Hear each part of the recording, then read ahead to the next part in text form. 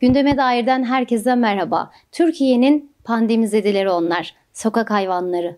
Türkiye etkisi altına alan Covid-19 salgınıyla mücadele ederken tüm insanlığın, insanların sağlığını tehdit altına alan bir virüsle mücadele ederken sokak hayvanları da bu süreçten tabii ki etkilendi. Tam da burada ilçe belediyeler devreye girerek onların yardımına koştu ve onlara sıcak elini uzattı. Kartal Belediyesi Veteriner İşleri Müdürlüğü'ndeyiz. Yanımızda Veteriner İşleri Müdürü Sayın Mustafa Çoban var. Ee, öncelikle bizi kabul ettiğiniz için çok teşekkür ediyoruz size. Ee, çok teşekkür ederim. Evet bugün sokak hayvanlarımızdan, minik dostlarımızdan bahsedeceğiz. Veteriner İşleri, İşleri Müdürlüğü ne iş yapar? Bu pandemi sürecini nasıl geçirdiniz? Ondan başlayarak daha sonrasında sorularım olacak.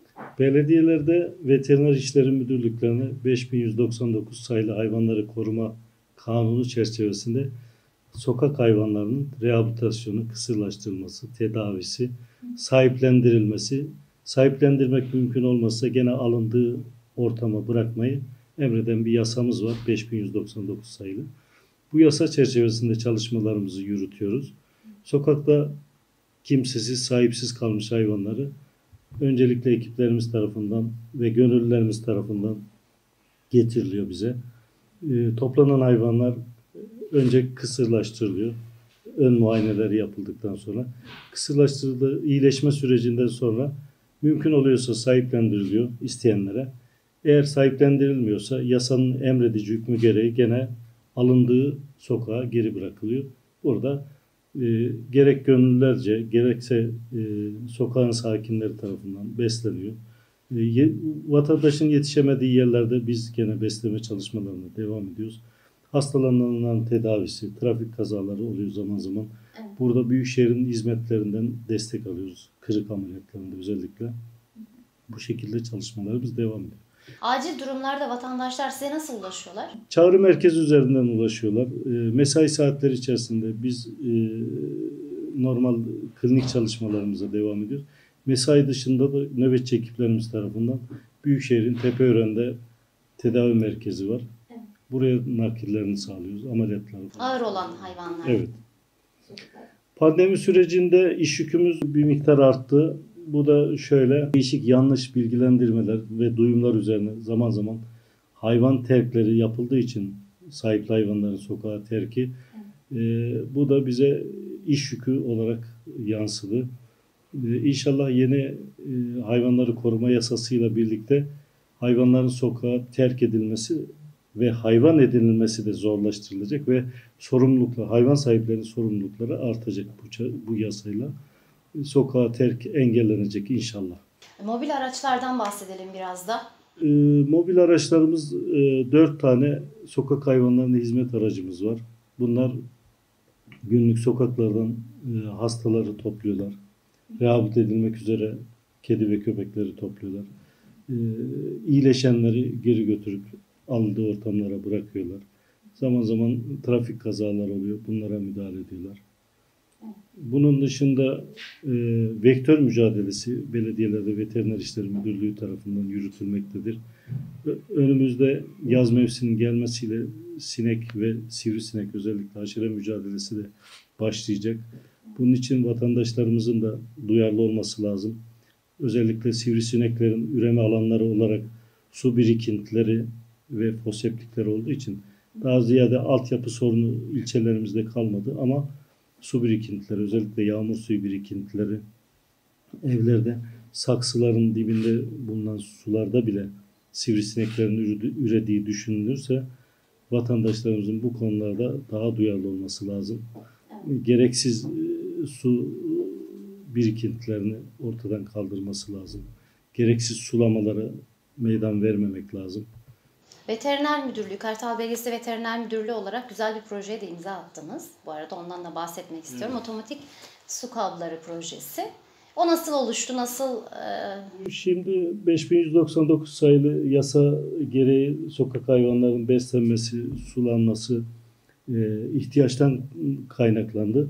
büyükşehir e, olmamızın hasebiyle e, hayvanların su bulmasında çoğu alanda sorun olmaktaydı.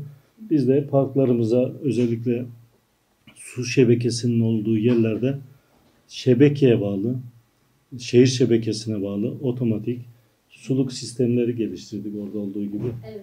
görselde de. Burada e, şamandıralı sistemdir.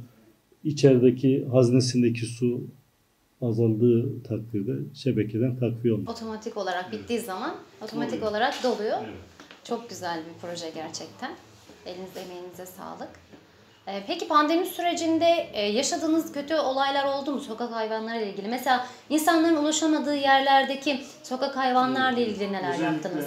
e, sokağa çıkma kısıtlamalarının olduğu zamanlarda e, ve e, ormanlık alanlarda hayvanların gıdaya ulaşamadığı noktalara ekiplerimizce başkanımızın da talimatı doğrultusunda besleme çalışmalarımıza devam ettik.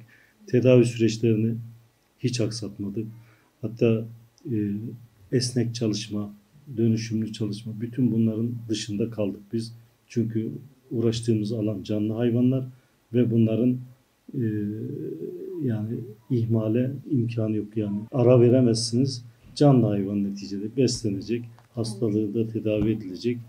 Bu yüzden bizim iş yükümüz pandemi döneminde daha da arttı. Evet Kartal Belediye Başkanı da Sayın e, Gökhan Duyarlı Yüksel de çok duyarlı. Bu konuda hassas ve e, görüyoruz zaten eliyle de hayvanları besli sokak hayvanlarına karşı gerçekten. başkan yardımcımız da Evet veteriner hekim. Dolayısıyla bu bir ekip işi ve ekibin bir başarısı olduğu için de e, Kartal Belediyesi Veteriner İşleri Müdürlüğü olarak gerçekten başarılısınız bu anlamda. Bu suluk projemiz Türkiye genelinde görüldü, e, basında ilgi gösterdi. Dolayısıyla e, Türkiye'nin her tarafına yayıldı. Yani geliştirdiğimiz bu sistem. Tedavi ortamına sahip misiniz? Atıyorum e, çok ağır e, sokak hayvanları ile ilgili. Şu anda e, tedavi kliniğimiz mevcut. 5 tane veteriner hekimimiz fiilen çalışıyor. Pandemi dolayısıyla kronik rahatsızlığı olanlar izinli zaten onlar çalışamıyor. Fakat kliniğimiz e, başkanımızın da talimatıyla yeni bir hizmet binası yapılacak ve e, burada e, hizmetlerimiz e, ve hizmet imkanlarımız iki katına, üç katına hatta çıkabilecek. Mustafa Bey çok teşekkür ediyoruz. Ben teşekkür Ee, söylemek istediğiniz önemli bir şey varsa alalım yine. Eklemek istediğiniz. Hayvan edinirken bu çok önemli. E, mutlaka ömrü boyunca bakabileceği şekilde alması lazım. Bunu düşünerek. Yani evdeki bir bireyden farkı yok. Onun için e, bir müddet sonra hayvanın sokağa terk edilme imkan, ihtimali varsa bu hayvanı edinmemekte yarar var. Bir de e, pet shoplardan hayvan satın almasından ziyade barınaklardan hayvan edinilmesi daha mantıklı. Hem onlara e, böylece destek edilmiş olur, oluruz. Hem de evet hayvanlar da sıcak bir yuvaya kavuşmuş olur. Çok teşekkür ediyoruz tekrar bizi kabul ettiğiniz için. Başarılar diliyoruz, kolaylıklar diliyoruz. Evet gündeme dair de bugün minik dostlarımızdan bahsettik. Kartal Belediyesi Veteriner İşler Müdürü Sayın Mustafa Çoban bizleri ağırladı kendisine ve Kartal Belediyesi'ne çok teşekkür ediyoruz bu anlamda. Ee, hoşça kalın. Sokak hayvanlarımızı unutmayalım lütfen.